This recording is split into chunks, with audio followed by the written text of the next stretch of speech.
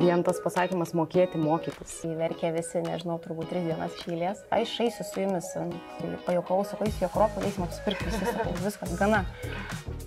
Sako, einam. Gerai, einam, sakau. Kažkaip atsiranda ir ga, galiausiai tarpusavio pagarba, nes vienas kitą matom kaip žmonės. Turbūt niekada nepasensiu, būdama tarp jo. Tai mokytojo profesija, jinai turi labai labai daug privalumų.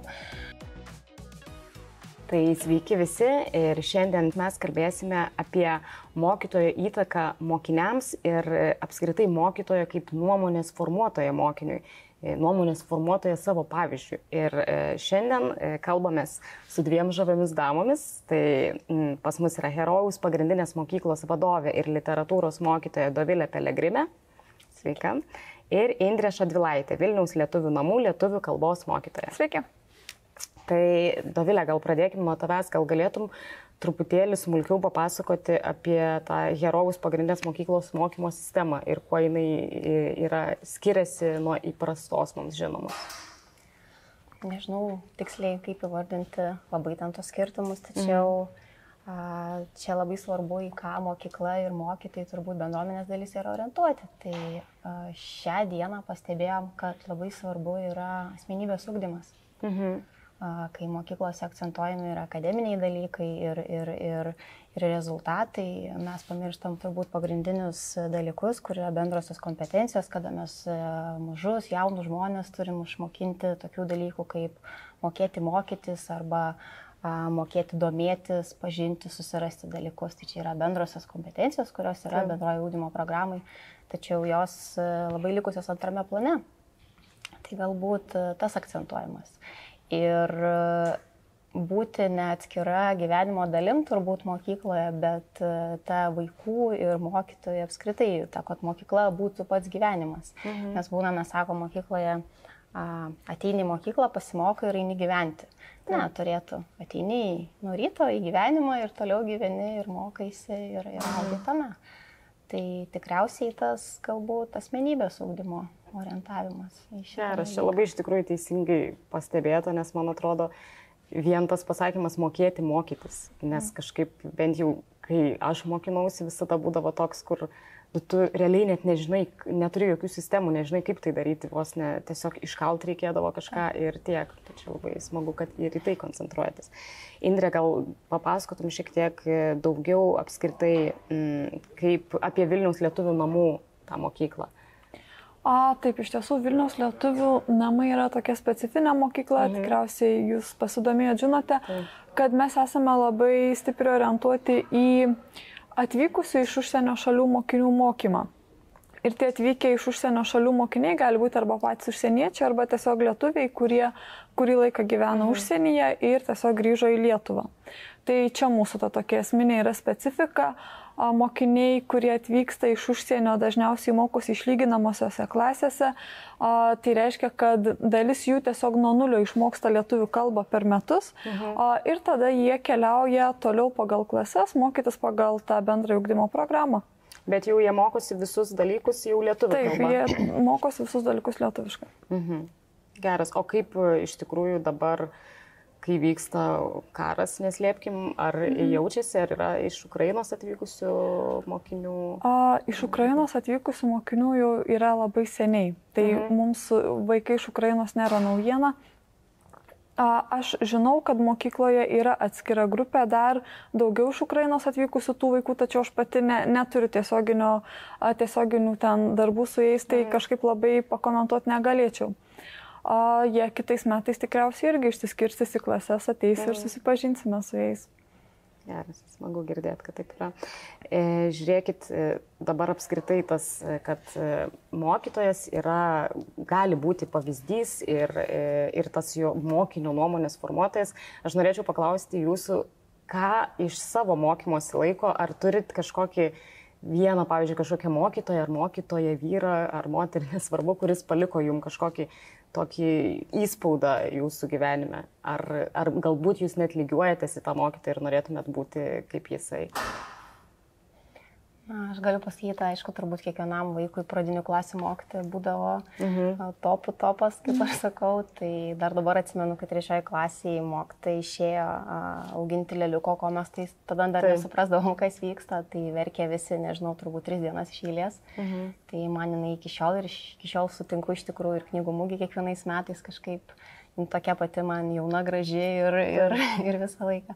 Bet e, jeigu apie vyresnės klasės, tai dar dabar atsimenu iš tikrųjų istorijos mokytoją, bet būtent dėl vieno dalyko, nors tai nebuvo mūsų auklėtoja, jinai praleisdavo daug laiko su mumis po pamokų. Mhm. Mes eidavom pas ją žiūrėti krepšinį, kalbėdavom, kai nutiko rugsėjo 11 Amerikoje. Mhm. Tai ta prasme, jinai skirdavo savo laiko mus pažinti, paturėti po tų pamokų. Uh, priimdavo visada, galėdavom ten nusnešti, nusipirkę ten sausainių ar ten dar kažko, žodžiu, tose vyresnėse klasėse. Tiesiog parodydavo mums dėmesio kaip žmogus žmogui, gal mhm. taip pavadinkim. Tai turbūt įsiminė dėl to. Kaip tau? Aš tikriausiai irgi išskirčiau savo pradinių klasių mokytoją, kadangi ta mokytoja suteikia mums tokį šeimos ir meilės jausmą. Aš mhm. taip įsivaizduočiau dabar apie tai galvodama, nes mes tikrai laukdavom mokytojos prieš pamokas, bėgdavom jos pasitikti, lankiau dailės būrelį po pamokų būtent pas šitą mokytoją ir visada norėdavau būti šalia jos. Tiesiog buvo tas tikrai geras, jaučiausi mylimas vaikas mokytojos ir manau, kad dauguma bendra klasė taip pat. O vėliau buvo auklėtoja, mūsų klasės mhm. auklėtoja, geografijos mokytoja net dabar būtų sunku pasakyti, kuo būtent auklėtoja nepadarė kažkokios įtakos, bet man kaip jaunam žmogui buvo labai svarbu, kad ji buvo šalia. Mhm. Nes ji buvo labai lengvai pasiekiama žmogus, artimas paaugliui, labai atvira. A, tai mane šitie dalykai sužavėjo ir aš dabar pati esu auklė, auklėtoja šiuo metu septintokų, tai mhm. irgi stengiuosi būti to žmogumi, kuris, na, patikimas, supratingas, kuris yra šalia, kuris negaili savo laiko. Tai, Tai gal taip. O šiaip asmenybės formavimuisi tai labiausiai įtakos turėjo dėstytojai, tikriausiai jau ne, nebemokytojai. Mhm. O šiaip kaip apskritai galvojate, kalbant ir apie tą patį asmenybės formavimas ir dažnai aš tarkim girdžiu tokią frazę, kad e, tėvai dažnai sako, kad tai čia vaikų auklėjimu turi mokykloje rūpintis mokytojai, o mokytojai sako, kad tai čia, čia tėvų darbas, tėvų reikalas. Kaip Jūs galvojat, visgi kieno tai yra reikalas ir ar iš viso kažkieno reikalas ir ar reikia tos vaikus auklėti, ar jie patys savaime turi išsiauklėti? Tai nežinau, aš tai manau, kad tai yra abipusis procesas, nes jeigu jau tu pasiemi, priimi mokyti vaikus, tai auklėjimas lygiai taip pat, kaip sakiau, mokykla nuo gyvenimo nėra atsiejama dalis, tai mhm. auklėjimas nuo mokymo nėra atsiejama dalis. Bet aš gal daugiau mokykloje traktuočiau tą auklėjimą kaip pavyzdžio rodymą. Taip. Tai yra daug paprasčiau, nes kiekvienas vaikas ateina iš savo šeimos su savo vertybėm, su savo susitarimais, jie žinoma ateina į organizaciją, bent jau pas mus irgi priima ir mūsų lūkesčius tai šeimai. Tačiau auklėjimas vis tiek yra turbūt didesnė dalis gal tėvų, Bet e, aš tai naudojusi tokiu modeliu, tiesiog rodai pavyzdį jiem. Ta prasme, mhm. parodai, kad e, daugumą klausimų tu pritari tėvam. Jie nėra e, tai, kad jeigu antrą kartą paklausė, tarkim, kažko tėvai neleidžia, tai gal mokyteliais ar atvirkščiai. Mm. Ne, mhm. sakau, mes sutarėm šito klausimu ir tas auklėjimas vyksta viena kryptim ir abiem pusėm. Ir, ir dar dažnai labai, kas su paaugliais dirbant, bent jau dabar pastebėjau, tai yra tai yra turbūt natūralus procesas, kad yra prieštaravimo tie visi mm. modeliai ir metai. Tai aš vadovaujuosi tokiu principu, neaiškink, ko parodyk. Mhm. Tai jeigu sakau, kad tai yra neprimtina apranga mokykloje, tai turi ir parodyti, kaip reikia rengtis. Jeigu sakai, kad ten kažkokie tai žalingi įpročiai, tenai, tarkim, yra netoleruojami, ne, ne, ne ten tam tikrą, tai to, to ir nedarai. Ar ne, mhm. nu, bent jau prie, prie, prie taip, taip. vaikų, ar ne. Tai uh, esmė yra ta, kad uh, jiem yra smagu matyti, kuo mokytas gyvena. Ir jeigu tu nori, uh, kad jie tave išgirstų ir nepraleistų to prausis, mano nuomonė, tu turi daryti daug dalykų ir pats, ir, ir mm. neaiškinti jiem, bet parodyti. Mm. Tas pats kaip pamokos, tas uh, vadinamas modelis yra 70-30. Sako, mokytojas turėtų kalbėti 30 procentų pamokos, o 70 turi vaikai veikti. Mm. Tai lygiai tą patį, čia yra geros, geros veiklos modelis. Nes mes užsiemam aiškinimu ir didaktiką, atrodo, mm. kad labai daug žinom, viską norim pasakyti, bet jie girdi tai mažai. Mm. Geriau tegu patys ra, daro, o mūsų, manau, pareiga misija yra parodyti, kaip tai daryti. Ir... Kitaip tariant, darbais, o ne žodžiais. Taip, taip. Taip. Indrė, kaip tau? A, aš irgi pritariu. Iš esmės, vaiką auklėja tas, kam vaikas rūpi. Tai būtų malonu, kad rūpėtų ir tėvams, ir mokytojams. Ir visi savo pareigą atliktų, tai dėl to tai yra toks, na, dvilypis dalykas. O dėl pavyzdžio irgi labai sutinku, nes iš tikrųjų vaikai mokos ne iš to, ką mes kalbam, nes čia kalbėti visi esam labai gudrus, bet iš to, mhm. ką mes darom, kaip mes elgiamės. Tai jeigu mes norim, kad mūsų mokiniai, mokiniai būtų pagarbų žmonės aplinkoje, tai mes turim pagarbiai su jais elgtis. Jeigu mhm. mes rėksim ant savo mokinių, žeminsim juos ir dar įsivaizduosim, kad mes ugdom pagarbą, tai dėja, tai mes tikrai neišugdysim tos pagarbos. Tai aš pritariu, kad pavyzdžio rodimas jis, na, tiesiog privalo būti. Kartais buvimas mokytojų šiek tiek išvargina, nes atrodo, tu turi būti toks tobulas, ištisai rodyti pavyzdį, kaip, kaip, taip, kaip pozityviai gyventi, būti pilietišku ir taip toliau. Bet, na, iš tikrųjų tokia realybė yra, tu esi matomas, tu nuolat esi vaikų sekamas, tai tu tiesiog privalai priimti savo tą darbo dalį, kuri yra būtent tokia. Mhm. Bet aš dar gal papildysiu, tai tas va, tobulumas jisai nėra. Man, pavyzdžiui, labai veikia su savo auklėtiniais ir tais mokiniais, aš kartais būnu atvira. Jeigu aš būnu pavargus ir pikta, aš jiems tiesiog mm. taip ir pasakau ir jie tą labai vertina. Mm -hmm. Tai jie patys žino, kad na, negeležiniai visi esam ir, ir pasakai ir kodėl ir kokių priežasčių, bet ir svarbiausia jų reakcija yra tai, ką tu darai po to. Mm -hmm. Atsitikti gali bet kas, bet kas gali būti įskaudintas, pavargęs ar gali būti nusivylęs savo ten rezultatais, bet klausimas, ką tu darai po to. Taip, ir kaip. Tai kokie yra tavo veiksmai ir tada sprendžiam šitos dalykus kartu. Jie man irgi kartais padeda mhm. dalykus išsispręsti. O dar norėjau paklausti, dažnai irgi mokytojams yra kaip ir numetama ta atsakomybė, tarkim, kai vaikas renkasi savo profesiją ir kaip Jūs manote, kiek mokytojas turėtų dalyvauti šitame Nes, nu, tikrai dažnai, pavyzdžiui, tarkim, mokytojas sako vaikui, oi, tu čia tikrai šitoj, šitam dalykė esi negabus, net nebandyk, mhm. nenorėk ir čia tau ne, tikiu, kad jūs taip tikrai nedarote, jums spėjus daryti tokį įspūdį. Bet vis tiek, e, kiek jūs galvojat, kad mokytojas turėtų būti tas žmogus, kuris pastumėja gal mokinį tuo jo tinkamu keliu ar padeda jam išsirinkti, kaip jūs manote? Šiaip manau, kad labai natūralu, jog mokytojas, ypač jeigu jis dirba ilgesnį laiką su mokiniu, tiesiog galiausiai jį pažįsta. Mhm. Ir jam mhm. padeda atrasti jos stipresias pusės. Tai galbūt nebūtinai kalbėti apie profesiją tiesiogiai, bet padėti vaikui suvokti, ką jis daro geriausiai, arba kas jam labiausiai patinka, kas jam sekasi. Tai šitos dalykus mokytojai tikrai gali padaryti. Pavyzdžiui, mano mokytojai sakydavo man, kad jokių būdų nebūčiau mokytoja, nes aš visada norėjau būti mokytoja ir aš labai aiškiai mokyklai tai išsakydavau. Ir bent jau porą mokytojų atsimenu, kurios tikrai sakydavo, nedaug dievė, jokių būdų indrės to, kur nori daryti, ką nori, tik nebūk mokytoja bet aš nu, turėjau savo nusistatymą, kad aš noriu, aš būsiu mokytoja. Tai dabar aš laiminga, kad aš mhm. pasirinkau savo bet kodėl kelią. jos taip sakydavo? Ar jos labai pavargusios būdavo? Aš manau, kad jos tikrai buvo pavargusios mhm. ir tai nėra jokia paslaptis. Nu, tai. tai tiesiog žmonės galbūt, kuriems patiems buvo sunkus ir nebe toks gal lengvas tas jų darbas, nebe toks gal džiaugsmą teikiantis, na, jie nori apsaugoti savo mokinį ir siūlo jam mhm. kažkokį kitą kelią pasirinkti. Aš kažkodėl jaučiau, kad tai yra mano kelias ir galvojau, nu vis tiek bandysiu. Tai mokytojai galbūt neturėtų taip konkrečiai kištis į tą sprendimą, bet tai. padėti atrasti save tikrai galėtų. Bet o būna, pavyzdžiui, kad ateina kažkoks mokinys ir, nežinau, ten jau artėja jam, kada vis dar ir dešimtoj klasėje tebėra renkamasi, ne? Kur, e, nu, po dešimtos ten... klasės taip jie renkasi dalykus, kuriuos mokysis taip, toliau. Taip. Tai arba tame apsisprendime, mm. arba nežinau, dar vyresni, kur tiesiog nežino, kur stoti, nebūna, kad ateina ir klausia, o mokytoja, nuspręskit už mane, aš nieko nežinau, ką man daryti. Nežinokit, dėja. ir gal ir nedėja, kaip tik labai gerai. Uh, nebūna. Nu, vaikai jie vis tiek jaučia, kas jiems patinka, ko jie nori Kartais jie būna pasimetę, bet jie matyt mhm. savarankiškai padaro tos sprendimus. Ir tiesą sakant, kai dirbi su paaugliais, retai gal susiduri su, su tokiais atvejais, kai mokinys sako, aš nežinau, ką, ką man mhm. daryti, ko aš noriu. Daugiau gal kaip tik jie tokie jaučias kartais užtikrinti, kad jie važino ir ten jaučia savo kažkokį tą kelią. Mhm. Ir kažkaip bent jau netrukdyti reikėtų. Taip, jų eiti. Davilė, kaip. Tu... Tai yra, tai dabar nesvarbu, ar gerai besimokantis mokinys, ar, ar, ar sunkiau sekantis, jie dabar yra kelios profesijos, jie yra visi verslininkai, youtuberiai, influenceriai, čia yra Taip. faktas kaip blynas.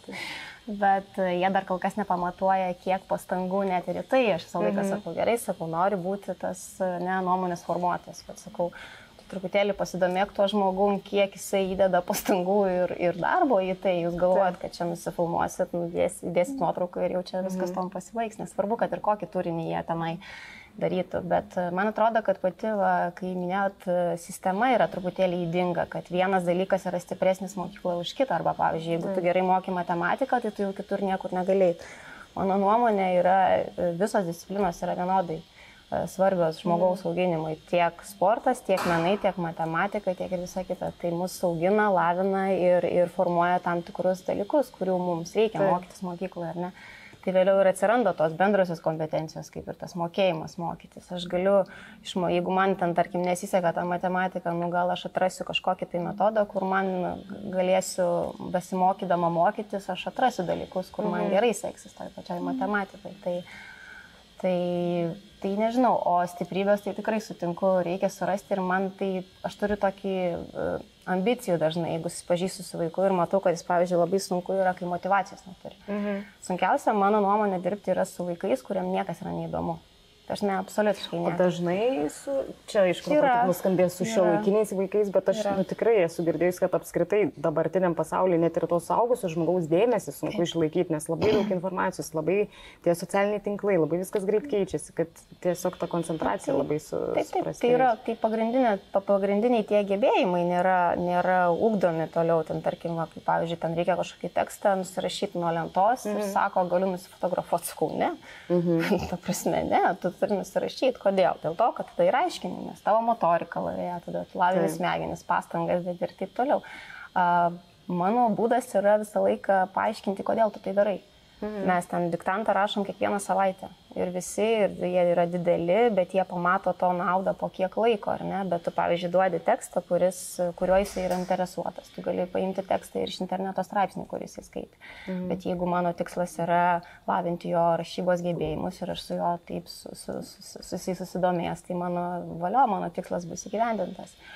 O šiaip tai tuose motivacijos neturinčiose uh, asmenybėse, kai mhm. kalbini, man vakar irgi dariau ten pokalbius su keliais vaikais, nu matau, kad visiškai, ne, tarkim, nori ateiti į mokyklą mokytis, bet na, motivacijos nulis, sako, tas nesiseka, bet matau, kad na, kažkas yra, kažko galima užsikabinti. Tai. tai atrandi, kad ten, vadinasi, pasirodo, ten kokiais kalnų dviračiais domisi. Mhm. Aha, tada pagrėbi šitą ir važiuoji tolin, tolin, tolin. Nes yra dalykų, kurie, kuriais jie domisi, net ir tą patį, tarkim, jeigu jiem taip įdomu yra tie socialiniai tinklai. Taip Tai yra beproto daug dabar užduočių, ten tiek istorija, atsimenu, mūsų istorijos mokytas darė, kad sukūrė uh, kažkokį tai uh, asmenybės profilį, ten tarkim mhm. istorijos asmenybės ir jie turėjo daryti tas įrašus. O, geras. Tai žodžiu, yra tų būdų beprotiškai daug mhm. ir jie tam tikram dalykė patyrė sėkmę, jau jie padeda atrasti tos motivacijos. Netgi, pavyzdžiui, jeigu sunkiai berašančiam vaikui ten per kelis metus pavyksta ir tu pagiri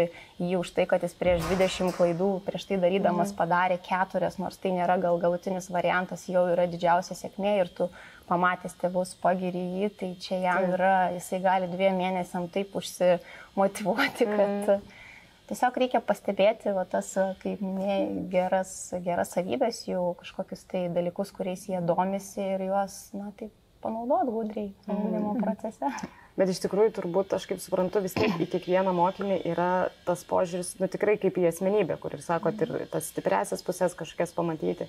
E, ar šiaip koks jūsų santykis, nes ir prieš tai su mokytais kalbėjom, kad jie labai tokį draugišką palaiko lygiai vertį santyki. Ar jūs irgi stengiatės e, tokį palaikyti, ar vis dėlto kažkaip atskiriat, kad va, čia yra mokytojas, čia yra mokinys ir tai nėra vienas ir tas pats, jūs nesate toj pačioj pozicijai galios, jeigu taip galim pasakyti. Mano nuomonė, tai čia balansas yra. Jį e, reikia surasti, jį nėra paprasta surasti, mm -hmm. bet mhm. galiu pasakyti labai tokį paprastą pavyzdį, kai buvom nuvažiavę su kolegom į vieną Londono mokyklą ir kažkaip visą laiką, kai nuvažiavam kažkur pasižiūrėti, parsivežam kažkokias patirties. Ir važiuodami atgal sugalvom, kad kai anglų kalboje kreipiasi ten, tarkim, teacherai, na, tarkim, mhm. savo mokytojų ir pasako vardą, nes buvom įpratę pradiniai mokyklai, kad mus vadino vardais, nors kreipdavo jūs, jūs. Taip. Na, tai čia toksai kaip ir pagarbos, bet ta, galvom, čia kažkaip jau jie vyresni darosi, čia reikia kažką jau sugalvoti. Ir sugalvojom, kad grįžę į mokyklą Lietuvoje vadinsim vienas kitą, o tarkim, mokytoja Indrė, mokytoja Davilė ir atsakinėjom vienas kitą. Mhm.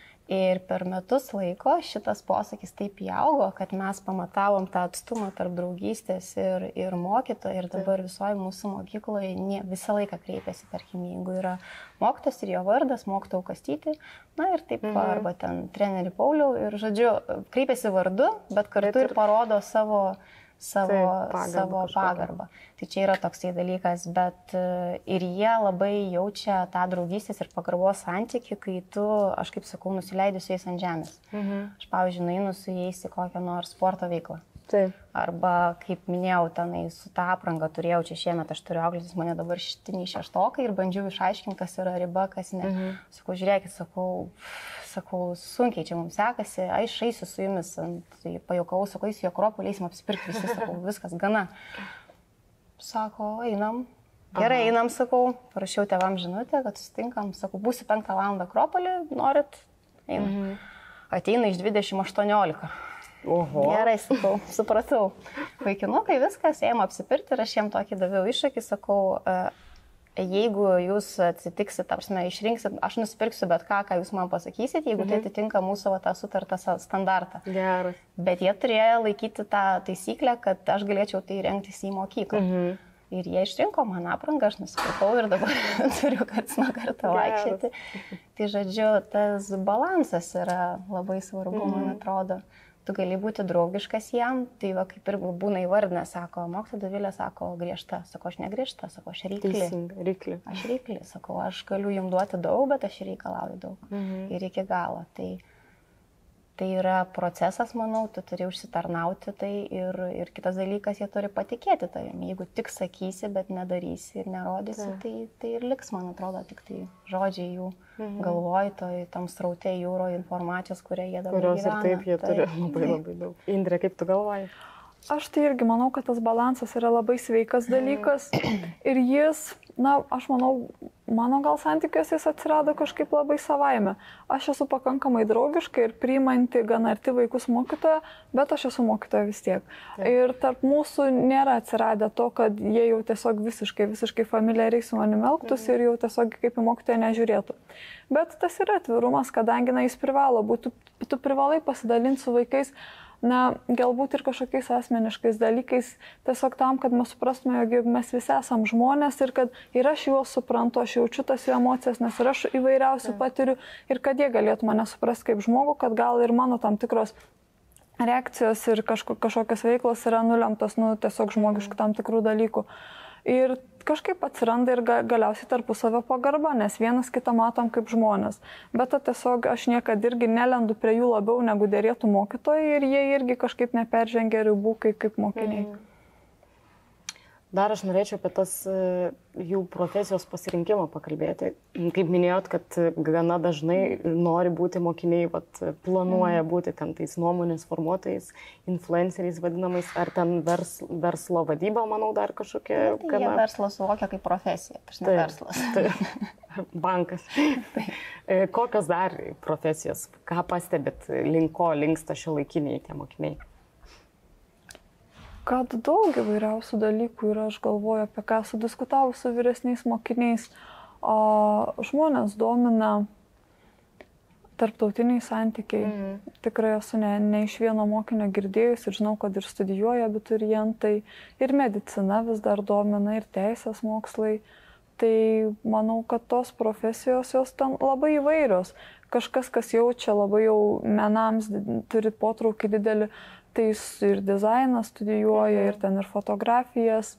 O psichologija, manau, vis dar yra ganėtinai populiari. Mhm. Daug dalykų, manau, kažkaip labai įvairūs mokiniai, tai ten jie pasiskirsto. Mhm. Technologijos. Tai. O šiaip e, nepaslaptis, kad taip, tarkim, mes dažnai baigiam vieną profesiją, o vat, kažkaip gyvenime mhm. susiklosto, kad visiškai kitų kelių nueinam. Tai manau panašiai gali būti ir mokykloje, kad mokaisi, tarkim, kažkokiu visiškai į vienus dalykus koncentruojas, paskui paaiškėja, kad gyvenime visai daug ko kito reikės. kaip Jūs galvojate, ar yra kažkoks dalykas, e, ką labiausiai verta pasimti iš mokyklos, apskritai iš to laiko, kol tu esi mokinys ir ką gal ir mūsų žiūrovam, kurie yra dar mokiniai, galėtumėt patarti ar ten palinkėti, į, į ką būtent atkreipti dėmesį, arba būtent į tą mok, mokėjimą mokytis apskritai, ar ten nežinau, kiti labai pabrėžia santykių kaip po tokių mesgymą, kad tai irgi yra labai svarbu ryšius mokėti, mėgsti. Kaip Jūs galvojat, kas yra visgi tas pagrindinis dalykas? Tai čia visos tos kompetencijos, kurias ir įvardintas mokėjimas, mok komunikacija, socialiniai mhm. pažinimo, tai taip.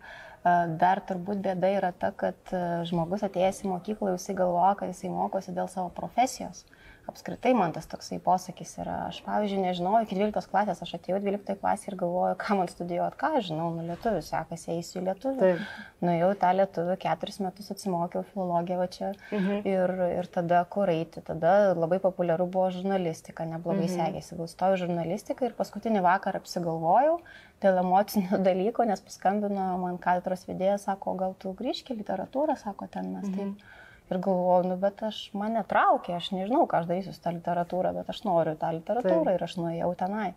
Tai pats svarbiausias dalykas, kad gal nebūtina galvoti, kad kas bus toliau, kur aš dirbsiu ir kas mhm. iš to, bet aš, pavyzdžiui, dariau tai, ką aš noriu daryti ir tuo metu tą gyvenau ir va, prašau ir, ir užaugau ir viskas yra taip, gerai. Taip. O, o, nes labai galvoju, kad tai yra nepopuliari profesija, nes kai stojau, aš dar dabar atsimenu, kai sakė, kad nes buvau stipri gan menuose, mhm sakė, man visi sakė, dailė, ne profesija, sako, taigi menininkai gatvėse sėdi piešia, ką tu ten darysi, o dabar realiai dizainas ir, mm -hmm. ir, ir architektūra yra vienas iš tų, kur šalia IT eina ir visos vienos, turbūt, na, mm. geriausiai gal apmokama. Tai iš tikrųjų niekada nežinai, kaip uh, pasisuks taip, pasaulis ir kas. Ir, ir aš taip visą laiką linkiu mokiniams, sakau, jūs domėkitės tuo, ko jūs iš tikrųjų. Ir man, pavyzdžiui, labai žavu, kai, tarkim, jeigu jiem patinka chemija, tai jie ir lenda į tą dalyką. Taigi yra be proto pasaulyje daug dalykų universitetų, kur vėliau gali mm. studijuoti. Ir,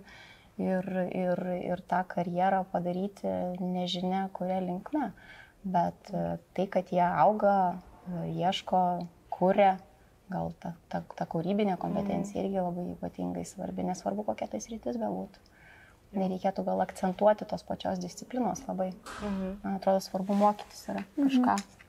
A, aš kažkaip galvoju irgi, kad vienas iš esminių dalykų tai yra žmogui suvokti, kad jis turi save tobulinti. Tiesiog tobulėti kaip asmenybė. Kai žmogus save tobulina kaip asmenybė, nu jis ir tobulėja ir kaip specialistas, nes tai mhm. neatsiejami dalykai tiesiog yra. Ir dėl to aš kažkaip stengiuosi su vaikais kalbėti apie tai, kad, nu, o kas tu esi, kuo tu save laikai, kas tu nori būti, tu turi į save investuoti. Ir kad iš tiesų labai būtų svarbu, kad vaikai ir suprastų, jog jų tas mokymosi procesas yra investavimas į save, į savo asmenybę, į savo gebėjimus, į savo suvokimą. Tai man tas asmenybės tobulinimas ir kritinis mąstymas yra tokie mhm. gan svarbus dalykai. Nes kartais irgi mokytojai, kalbam, ar mokytojas turėtų suformuoti nuomonę, ar mokytojas yra nuomonės formuotojas. Tai. Aš tai manau, kad esminė nuomonė, kurią reikia suformuoti, kad jis turi turėti savo nuomonę. Kaip gerai pasakyti. Tai nes tiesiog, aš, gal aš taip smarkiai nepasitikiu savim, kad manyčiau, jog aš viską žinau teisingai ir dabar jau siekit manim. Tai. tai tiesiog matau, kad jie yra protingi, kartais reikia labiau pasitikėjimo ir to noro, kad na, aš esu asmenybė, aš galiu nuspręsti, galvoti, vertinti procesus mhm. aplinkoje vykstančius, tai man tokie yra gan svarbus dalykai.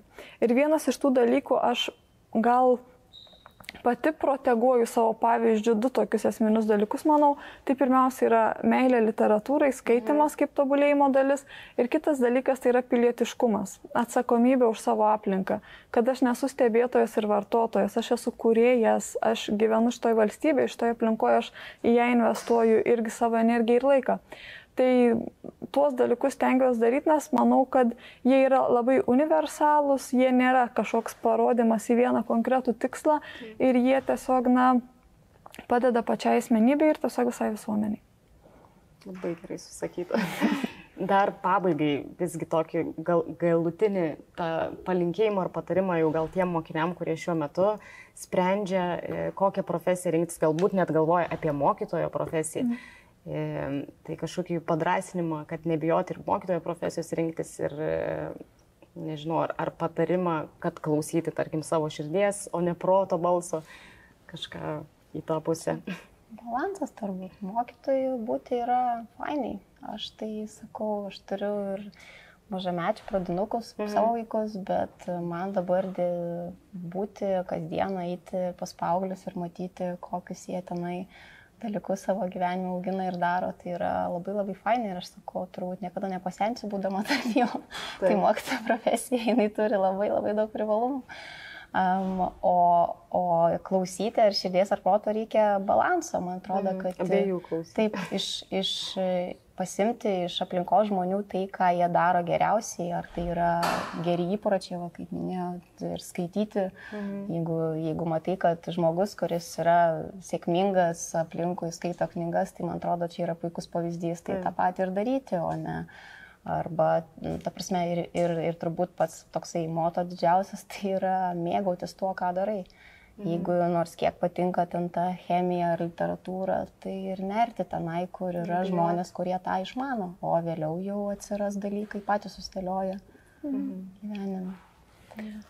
Aš jeigu kalbėčiau su žmogumi, kuris nori būti mokytoju, tai tiesiog padrasinčiau jį Ir be abejonės, čia nėra paslaptis, kad mokytojo darbė yra labai daug sunkių dalykų ir erzinančių, ir nu, kaip ir kiekvienas darbas, yra tos peripetijos, kurios tikrai nesuteikia labai daug džiaugsmo. Taip. Bet mokytojo darbas turi ir kitą pusę, kuri, jeigu tu investuoji, nu, yra be galo geras grįžtamasis ryšys, be galo daug tu jauti savo gyvenimo prasmės. Tu gali įgalinti visą savo kūrybiškumą, socialinę energiją. Tiesiog man tai vis dar yra atradimas. Ir tokiam žmogui aš galėčiau pasakyti, kad nereikia bijoti ir galvoti, kad tu to mokytojo turėsi tikrai dirbti iki pensijos. Taip. Nors siūlyčiau. Nenoriu likti viena pati mokytoja ir dirbti e, didžiulius darbus, bet tiesiog bent jau keliarius metus pabandyk pabūti mokytoju. Tu kaip asmenybė tikrai patobulėsi. Mm. Tai yra tiesiog, aš nu, esu tuo įsitikinusi, nes tiesiog mokytojas savo darbę susiduria su tokiais dalykais, kurie tave augina kaip žmogų. Tu praplėti požiūrį, bendraudamas su šitiek daug skirtingų žmonių, pamatydamas labai daug skirtingų gyvenimų, bandydamas tobulėti, mokaisi kartu su vaikais.